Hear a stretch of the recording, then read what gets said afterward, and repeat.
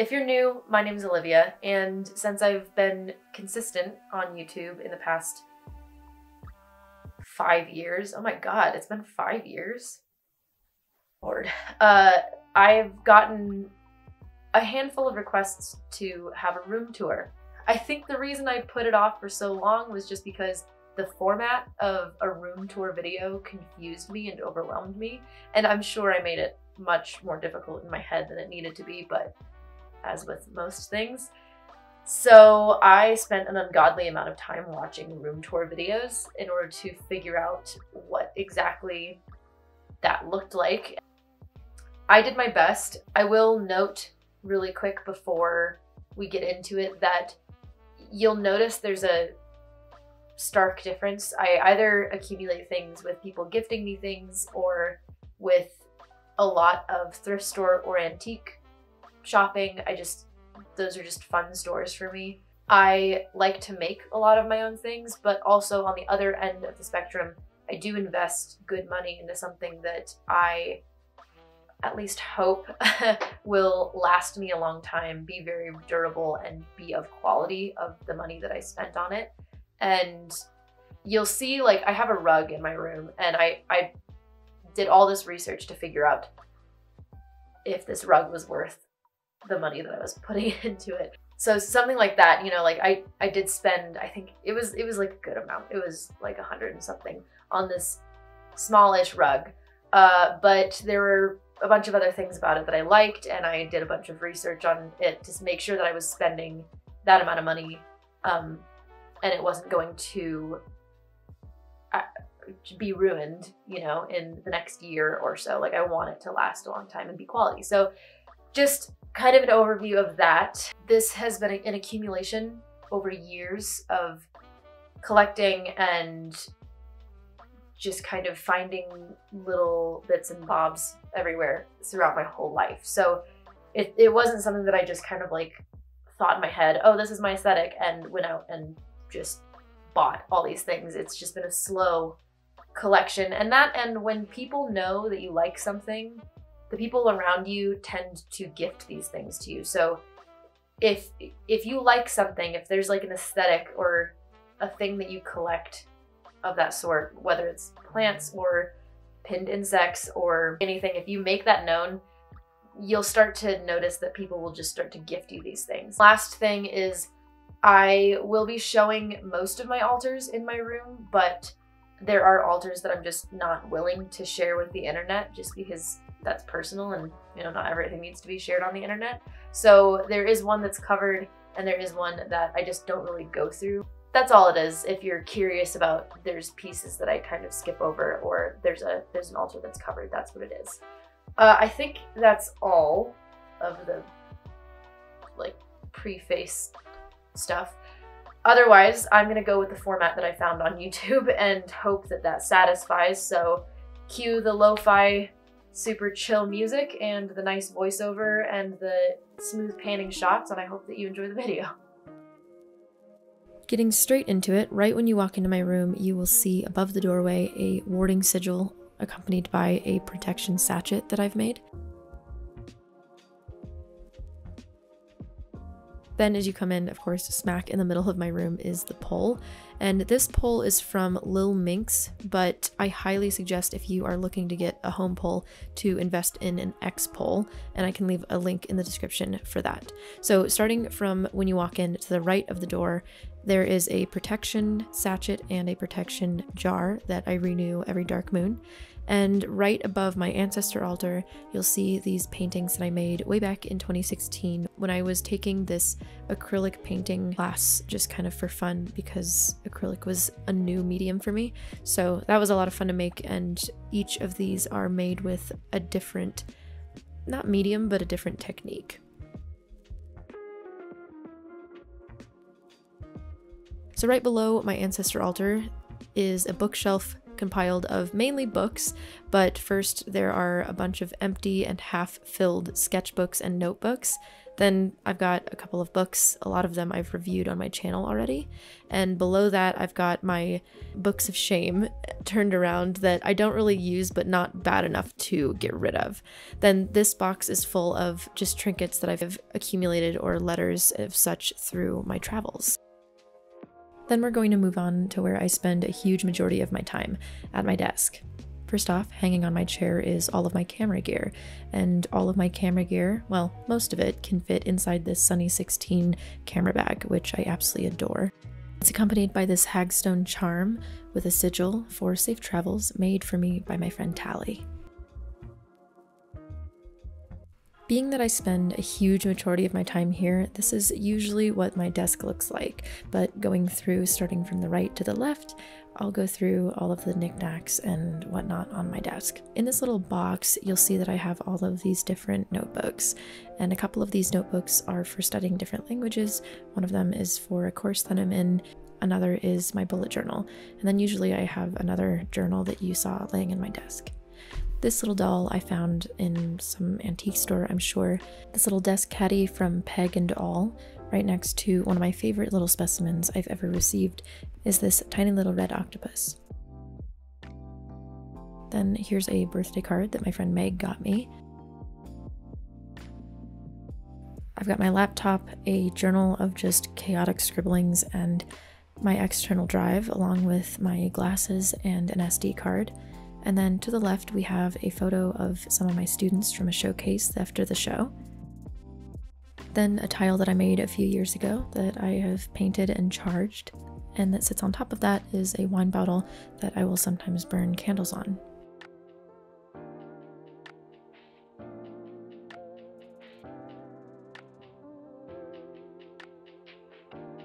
Then we've got this book holder that usually just holds my iPad so that I can see things like my Google Calendar, but when that's out of the way, you can see these two books that I've had forever and a golden skull with a crown, both of which have been gifted to me by two different friends, and this wonderful pen that I got from the Witch's Box.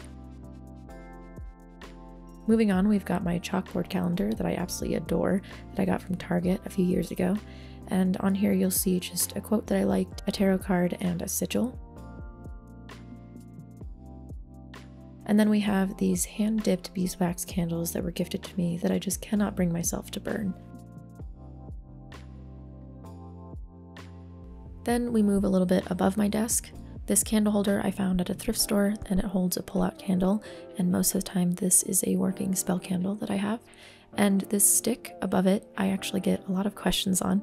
It's just a stick that I found that I ended up using twine and using macrame and working in some knot magic. I've had some flowers in there and hung some basil to dry. Alright, so let's move from my desk over to my tea bar, and right above it you will see this mirror that I got at a yard sale that I absolutely love. And here's the tea bar. First and foremost, this is my electric tea kettle. I adore this thing because you can set it at a specific temperature, which can really make or break your tea. Then I have these three different books, and yes, sometimes I will mix a couple of alcoholic drinks, depending if my friends are coming or as offerings.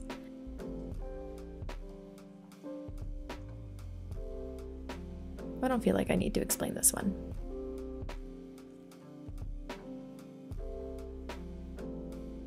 I've got these little potion jars that I'm pretty sure I got at Michael's around Halloween, and really they just carry a bunch of tea infusers and compostable tea bags. I have these coasters that I got at a thrift store. And this jar is kind of just compiled of a bunch of different things. Here, I'll show you. I've got a wine stopper with a crystal on it that my mom gave me, bottle opener and wine opener of an owl, and then just some spoons, either for mixing or scooping out tea. These tiny little teaspoons I found at an antique store.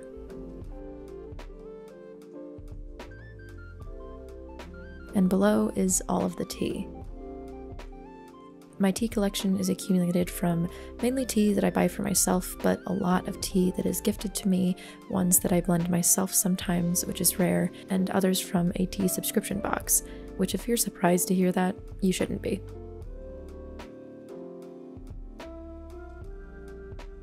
Then I've got a container for all of the individual packets, just so that they're not kind of thrown everywhere. That is pretty much my full tea bar. Then, as we move all the way up, we have where I hang my tea mugs. The mugs that are hung here change out a lot, and above that, we've got some bitters when I make cocktails, one of my ritual cups that I use for special occasions that I got in Okinawa, some brown sugar, and another tea infuser. Then on the very top is yet another teapot.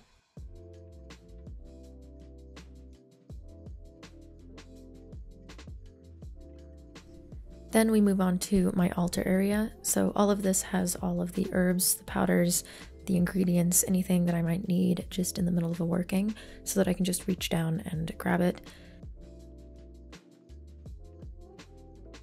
And then over here, I've got a couple of these books that I have found at antique stores that I'm planning on gutting and turning into either a sketchbook or a notebook.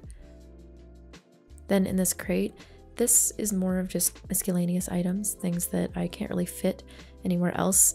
A lot of the time, it's just a very small amount of herbs. Then here is my working altar. You'll see this hung up. This is another piece that I made with watercolor and ink in 2016. Then here is a mortar and pestle my mom got for me on one of her trips that she just came back from recently some herbs and little different items that I've collected. And in this corner is a candle from Wild Blackthorn, I'll link that, a wishing rock from when I visited Annie, a doll that Dylan made when he was in New Orleans that he gave me, a big slab of quartz, and some whiskey. Then there's this jewelry box that I found at an antique store, and inside it holds my protection amulet that I've created out of an antler and some oracle cards. Then on the actual table, I've got my tarot cards from Ophidia Rosa and this crystal that is carved into a crocodile that I found in my last visit in LA, all sitting on a rabbit pelt. I have this incense holder that my mom got me, some antique nails from, again, an antique store, and a jar of antlers. Then here is my bone throwing kit, and you can see one of the shisa dogs that my brother got me while I was visiting in Okinawa. Here's a skull that one of my friends gave me that she found on a hike of hers while she was visiting.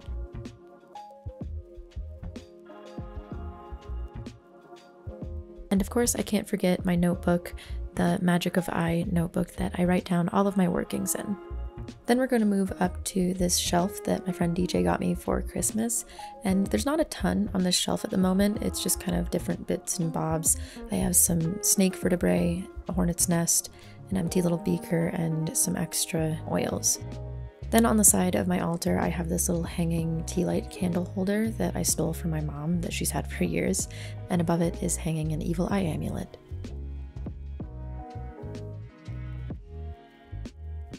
And another ward. Also to the side and below my altar is this huge chest that I found at an antique store.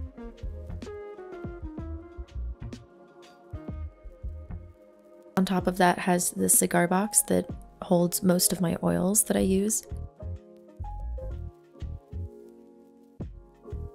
And inside the chest is just a bunch of different other tools that are either idle or I'm not using at the moment or just kind of on standby. Things that I have accumulated or have been given that I just haven't had a use for quite yet. Then moving on the side, you can see my grimoire here sitting next to the chest and this little box that if you remember the video where I went thrifting with Frankie, I found that there. Then I have all of my incense right behind that. And working up this pothos, you'll see this little working spell that I have in this terrarium type of thing. And on top of this is this giant quartz that I was given, and I'm told that they amplify things, so I figured this was a good spot for it. Then we move on to my wall of more beloved specimens.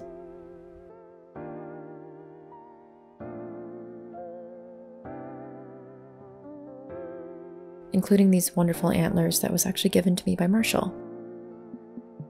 Then we're going to move on to my windowsill. So here is the current Hecate altar that I'm using for the course that I am currently studying in with Jason Miller.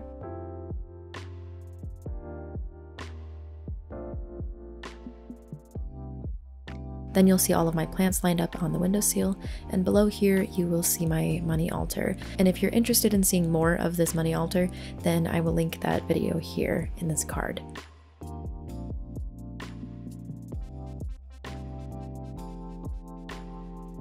On the windowsill, I have this, I guess you could call it a travel altar, just a place to put all of the things that mean a lot to me that I have found and accumulated over my travels. More plants, more plants and a skull, a crystal, and more plants.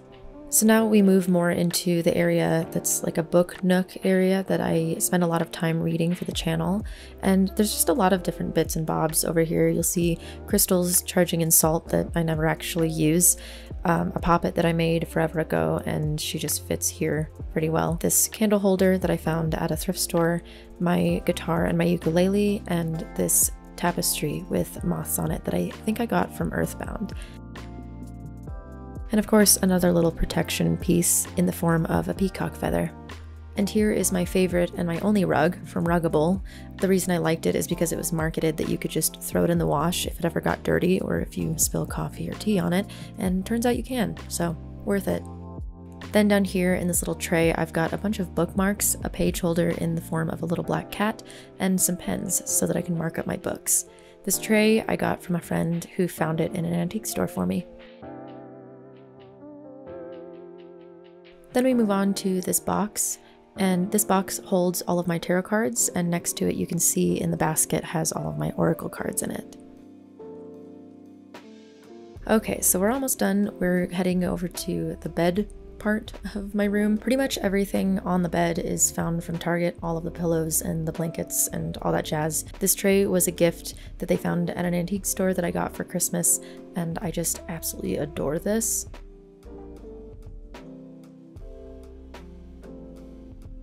Another ink art piece of mine. And these two signs were both given to me by my mom years ago, and I've always liked them. Then we have this tapestry. It's the moon card that I got from, yet again, the Witch's Box subscription box.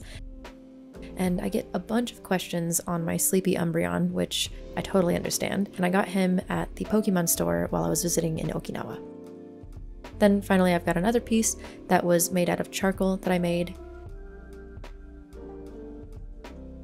Then moving down to my nightstand, it's this mirror nightstand, which I think is pretty cool, and this sparkly tree thing that lights up that was gifted to me. Another watercolor piece behind that, a amethyst cloud crystal, and this journal that one of my friends forever ago hand stitched a design and these keys into that I now use as a dream journal. And below that is just another stack of reading books. And then hanging from my bed is this little bedside caddy that I made just so that I can keep like my phone, my iPad, and all of the remotes for the lights and the candles that turn on, just so that I don't lose all of them. And that is pretty much my room. That's where I spend most of my time. I hope that this answered some questions or gave you some kind of inspiration. But that's all for this video. And as always, best of luck, be kind to each other, and may your gods treat you as you've treated others. And until next time.